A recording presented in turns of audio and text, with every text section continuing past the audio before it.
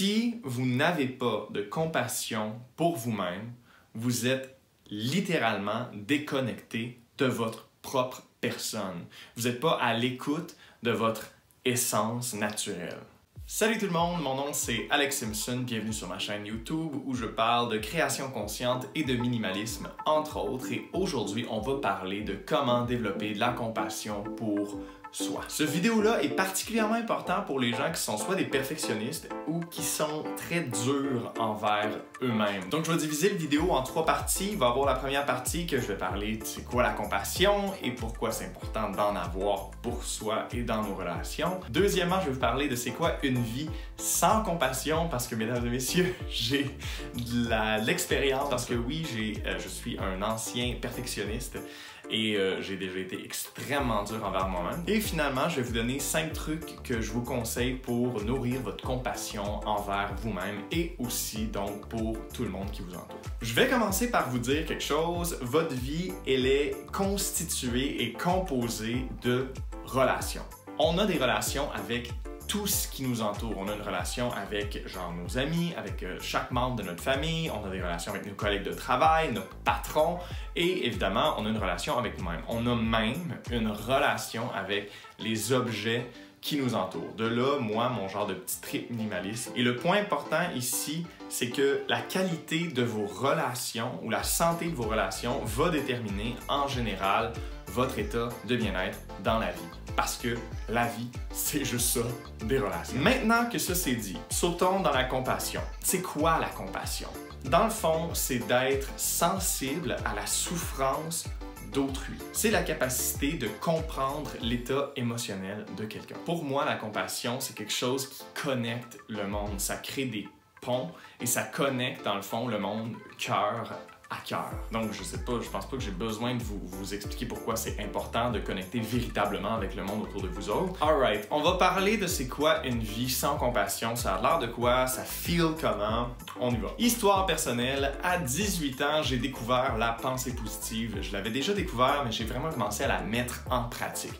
Fait que je me suis créé une espèce de bulle de positivité autour de ma personne. Je n'étais absolument pas intéressé à ce que des gens qui souffrent ou qui étaient tristes ou fâchés viennent péter ma bulle. Je ne voulais pas voir et encore moins ressentir les basses fréquences du monde. Mais là, ça c'est un problème parce que je créais des barrières entre moi et le monde. Le problème, c'est que c'était la même chose avec moi-même. Je ne voulais pas voir ni ressentir ma propre souffrance ou genre ma peine ou ma frustration, ces trucs-là, parce que je voulais pas euh, briser ma vague de positivisme.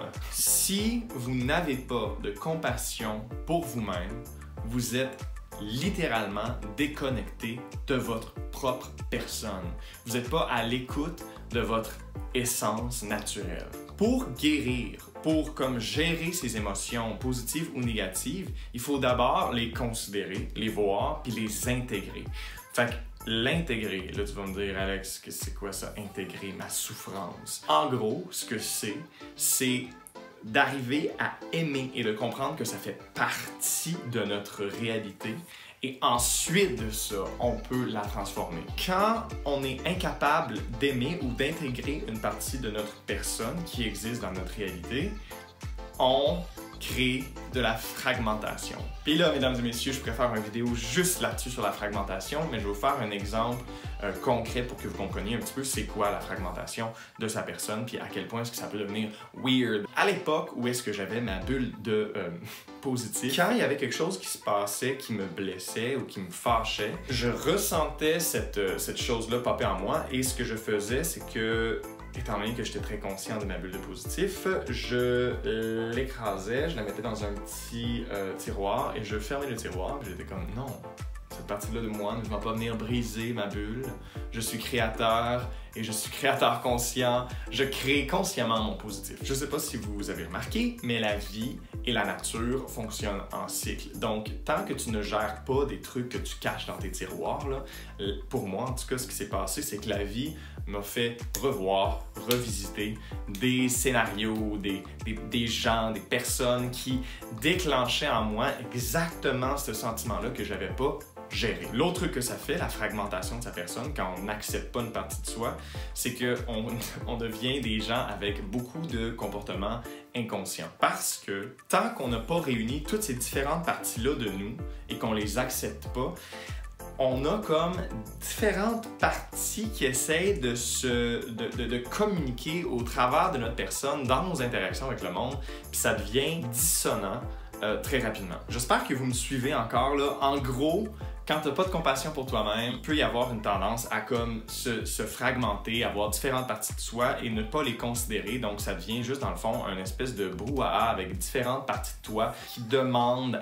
à être entendues et écoutées. Ok, fait que maintenant que j'ai ouvert une espèce de boîte, genre de Pandore, on va y aller concrètement, c'est quoi cinq trucs pour vous aider à nourrir la compassion pour votre propre personne? Premier truc, mettez de côté votre jugement.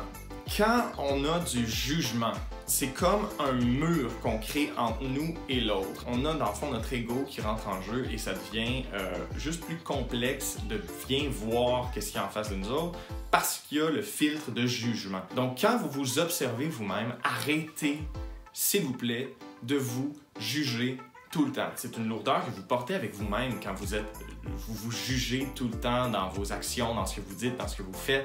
Donc, la première étape, moi, je vous dirais, c'est essayer de calmer votre ego qui juge et apprenez à vous voir, à vous regarder sans jugement.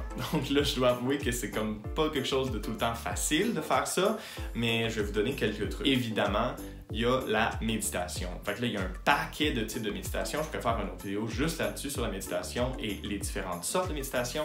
Mais le fait de se calmer le mental, se calmer l'ego et retrouver une espèce de paix intérieure va aider à pouvoir regarder les choses telles qu'elles le sont, ou en tout cas non brouillé par le jugement que vous portez euh, ou que vous mettez en face de vos yeux quand vous vous regardez. Deuxième truc, c'est de nourrir la relation avec soi. Fait que là, la relation que vous avez avec vous-même, c'est la même chose que la relation que vous avez, par exemple, avec votre sœur. Si vous voyez votre sœur une fois par année, ça va être euh, toujours probablement en surface. sais, vous n'aurez jamais le temps d'aller vraiment au plus profond des affaires, à moins que vous passez, genre, je sais pas, 12 heures à parler vraiment avec la personne non-stop. Mais habituellement, c'est rare que les personnes prennent 12 heures une fois par année pour vraiment aller se connecter à eux-mêmes. Ce que moi je propose et ce que je conseille, c'est au minimum prendre une heure par semaine avec soi, déconnecter du monde, juste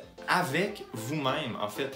Puis le fait d'avoir cet espace-là où est-ce que vous créez une connexion avec vous-même et que vous vous écoutez, bien, ça va faire en sorte que vous allez être plus, genre, sensible à, à vos pensées, à vos états d'être. Vous allez avoir une relation qui est plus solide et plus en santé. Puis on s'entend-tu que s'il y a une relation qu'on veut qu'il soit en santé, c'est bien la relation qu'on a avec nous-mêmes parce que, man, on se suit partout où est-ce qu'on va. Fait que c'est ça. Ça, c'est mon deuxième truc, c'est nourrissez la relation que vous avez avec votre propre personne. Troisième truc pour nourrir la compassion envers soi-même, c'est deux choses en fait. C'est le fait d'être doux avec soi et se pardonner. Selon moi, on est tous des grands enfants là, sur la planète, puis on essaie tous de faire du mieux qu'on peut. Le fait d'être doux pour moi, envers moi-même par exemple, ça fait en sorte que je me sens sécurisé. Si je me promène dans la vie, puis que constamment, euh, à moindre petite chose que je fais de mal, je me crisse moi-même une claque en arrière de la tête, parce que je me dis, t'es un bon à rien, tu vois bien que t'es un cave. Moi, personnellement, je trouve ça lourd. L'autre point, et de se pardonner. Pense que vous le savez tous, mais quand on se sent mal d'avoir fait quelque chose ou de ne pas avoir fait quelque chose, ça peut très rapidement devenir lourd à porter ce regret-là. Faites-vous une faveur et pardonnez-vous. Lâchez de tenir puis de, de, porter sur vos épaules des choses d'hier ou des choses qui n'ont pas été faites ou des regrets. Ça fait juste alourdir la relation que vous avez avec vous-même. Tassez ça, pardonnez-vous, puis partez à neuf. Ça va être tellement plus simple, ça va être tellement plus facile aussi à gérer. Quatrième truc, c'est d'accepter la partie de soi qui disons, soit souffre ou qui vit une émotion qu'on peut catégoriser comme négative. C'est de ne pas rejeter cette partie-là de soi, mais bien de l'écouter et de comprendre qu'est-ce qu'elle a à vous dire. J'ai parlé de fragmentation plus tôt et donc je vous, je vous conseille pas de, de jeter à l'eau des parties de vous sans avoir écouté réellement qu'est-ce que ça dit parce que vous allez avoir un paquet de réactions inconscientes dans votre façon d'interagir avec le monde et ben, vous avez le choix, soit d'avoir un paquet de parties de vous autres qui veulent parler au travers de votre personne, ou vous prenez tout ça, vous écoutez, puis là, ben, vous vous entendez mieux, puis vous comprenez mieux, et vous devenez beaucoup plus conscient dans votre création, puis dans ce que vous proposez au monde, puis à tout ce qui vous entoure. Et mon cinquième truc, c'est comme un amalgame de tous les quatre autres, c'est de pratiquer consciemment la compassion pour soi, d'être sensible à soi, de s'écouter, d'être conscient qu'on est tous pas parfaits ou qu'on est tous parfaits. Comprenez qu'on est tout le temps en train d'apprendre. Donc, voyez les réactions puis les émotions comme des informations sur votre personne et connectez-vous à ça parce qu'il y a un message derrière ces trucs-là. C'est mon cinquième truc, c'est pratiquer la compassion de façon consciente avec votre personne. Donc, soyez doux, soyez patient, soyez gentil, écoutez, écoutez-vous, parce que votre corps vous parle, votre tête vous parle, votre cœur vous parle. En gros, ce vidéo-là, le point le plus important, c'est endurcissez-vous pas face à votre propre personne. Ne faites pas l'erreur de créer un mur entre ce qui se passe en dedans de vous et ce que vous voulez pour vous-même faut écouter ça. Il y a quelque chose qui se passe là. Tu peux pas juste vivre ta vie puis faire comme si de rien n'était. Ça va clasher et ça va surtout dissonner. Fait que c'est pas mal ça, mon vidéo sur la compassion. Donc, moi, je serais curieux de savoir, vous, est-ce que vous êtes une personne qui est dure envers vous-même? Est-ce que vous avez tendance parfois à ne pas écouter certaines parties de vous autres puis le mettre dans un tiroir puis faire comme si de rien n'était? À quel point est-ce que vous pratiquez consciemment la compassion envers votre propre personne et dans votre relation avec vous-même. J'adore ça, avoir des discussions avec vous autres dans les commentaires. C'est genre la partie la plus tripante, je trouve, de comme d'interagir avec vous autres. Si vous avez aimé le vidéo, évidemment, likez-le, partagez-le et si vous voulez plus de contenu du genre, ben vous pouvez vous abonner à ma chaîne YouTube. Euh, là-dessus, je vais vous dire euh, au revoir, bonne journée et je vous envoie plein d'amour. Bye!